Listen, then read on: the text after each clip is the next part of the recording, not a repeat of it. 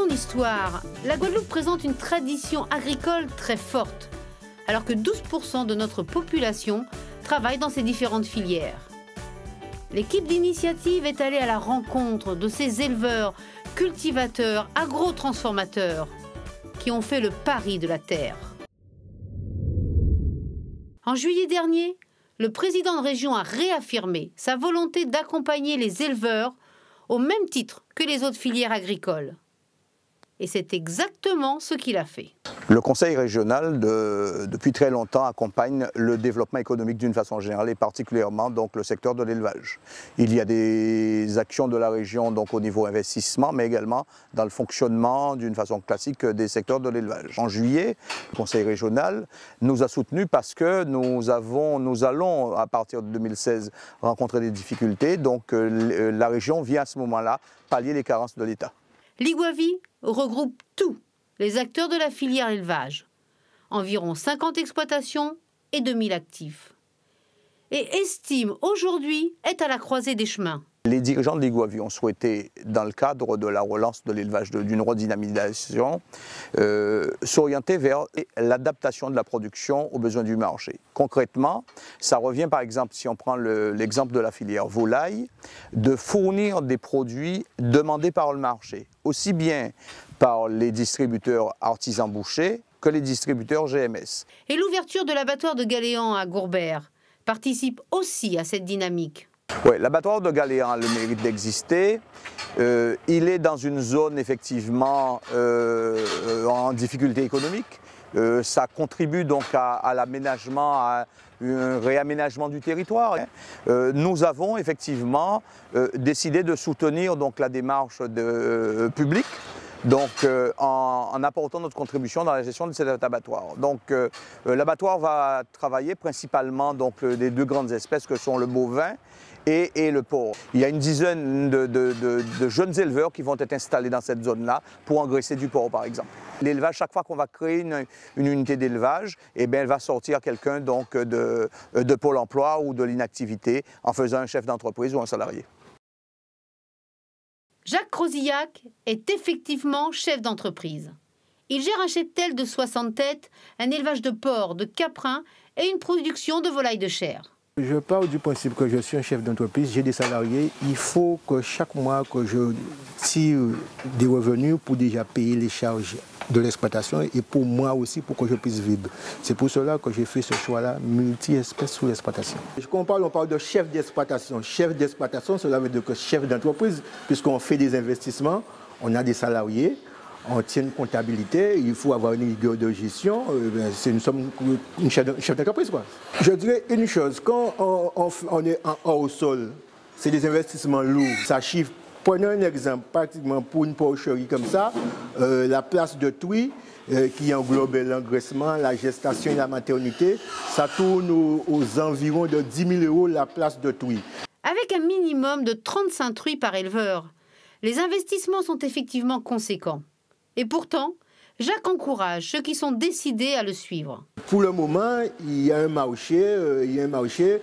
On, peut, on a la prétention d'installer des jeunes, puisqu'il y a un marché, que ce soit dans le bovin, euh, dans le porc et dans la volaille, il y a une demande. Nous ne sommes pas encore arrivés à saturation en viande frais. Nous sommes très compétitifs par rapport aux, frais importations qui arrivent. Pour les aider, l'Europe, l'État et la collectivité régionale apportent leur financement. Il y a une partie des aides européennes, il y a une partie de la part privée de l'éleveur et il y a une contrepartie, soit État ou soit euh, région, conseil régional. De l'encadrement technique, puisqu'il y a des techniciens qui nous encadrent, la région intervient effectivement dans l'encadrement technique pour, pour nous accompagner. L'exploitation de Jacques a une particularité, celle de fournir des reproducteurs. En tant qu'éleveur sein, je suis aussi multiplicateur. Ça veut dire que euh, je livre des femelles sélectionnées pour les adhérents et qui rentrent chez eux pour leur reproduction. Toutes les mâles partent effectivement à l'abattoir et les femelles, il y a une partie des femelles. Les femelles sélectionnées partent dans les élevages de nos adhérents et les femelles non sélectionnées partent en abattoir. Les agrotransformateurs aussi ont besoin de soutien.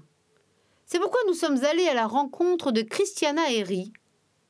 Les délices d'Anna Ce sont de délicieux petits gâteaux, tous dérivés de la farine de manioc. J'ai bien remarqué que la cassave, de toute façon, était, euh, est populaire. C'est pas était, elle est populaire. Donc, euh, on aime les cassaves, on aime en manger surtout des sucrés. La cassave au coco, c'est la traditionnelle. Et on se rend compte que quand on fait du salé, euh, les gens, ils adhèrent aussi. Mais ça, je me disais que ce serait bien, en fait, de valoriser encore plus notre produit. Donc, de pouvoir faire quelque chose de différent. Moi, j'aime bien les gâteaux secs, par exemple. Je me suis dit, mais pourquoi ne pas faire des cakes à base de farine de manioc? Et, une fois que, que j'ai commencé à en faire, bon, ça a été un peu laborieux, hein, parce que travailler la farine de manioc, c'est pas si facile, c'est pas comme la farine de blé, puisqu'elle elle est sans gluten, donc elle ne va pas gonfler. Euh, petit à petit, je suis arrivée, et puis par rapport aux commentaires des autres, euh, dans mon entourage, on me disait que c'était bon. Anna confectionne des cakes, des financiers, des pains apéros nature, au fromage ou même à la morue. Euh, le goût y est, et c'est vraiment goûteux, c'est tout aussi, c'est beaucoup plus savoureux pour moi que la farine blanche, et même les clients le disent. Le gâteau nature, c'est un vrai délice.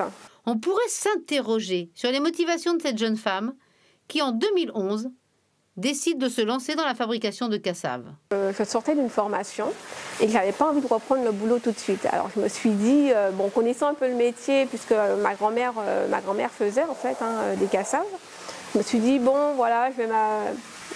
je vais en fait, ça va être un passe-temps. Et une fois que je m'y suis mise, en fait, j'ai bien aimé. J'ai aimé plus que je ne le pensais. Désormais, Anna vend ses produits tous les vendredis sur le marché nocturne du Gosier, mais aussi sur les foires et les manifestations. La Guadeloupe est riche de ces hommes et de ces femmes qui ont cherché à valoriser les produits du terroir, comme Annick Archimède avec sa production de gingembre, cannelle et curcuma. Alors nous produisons euh, sur les terres des ancêtres, des indiennes, à hauteur bananier, à 600 mètres d'altitude là-haut, sur les hauteurs de Bananier, et mon lieu de transformation est à Petit-Bourg. Notre laboratoire est ouvert euh, depuis cette année. Et le gingembre euh, en sirop, euh, par un effet de cuisson.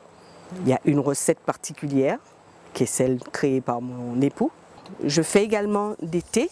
Nous transformons ces rhizomes, nous les faisons sécher. Nous avons un séchoir à plantes pour les transformer en infusion un TPI. Nous faisons des combinaisons de plantes par dosette, toujours pour avoir un, effet maximal, parce qu'il y a toujours une plante qui a une action sur l'autre.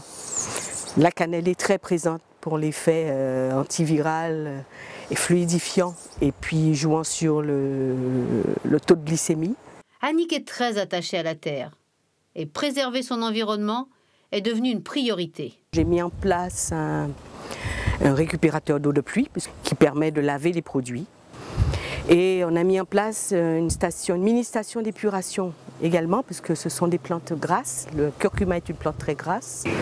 Donc euh, ce sont des installations qui coûtent relativement cher. Et pour cela, nous avons eu euh, la subvention de la région, qui s'appelle ARIS. L'aide de la région était la, bienvenue absolument, puisque toutes ces primes ont été investies et on n'a pas fini l'investissement. On n'a surtout pas terminé puisque la production ben, elle augmente hein, et les besoins euh, en investissement aussi. Et même si l'entreprise prend un nouvel envol, à l'export notamment, Annick reste une fidèle du grand marché régional. Chaque année, c'est une, euh, une journée qui est très attendue avec beaucoup de personnes de la côte soulevante, de la Basse-Terre, parce que j'adore la Basse-Terre. Je me sens à l'aise chez moi et avec le public.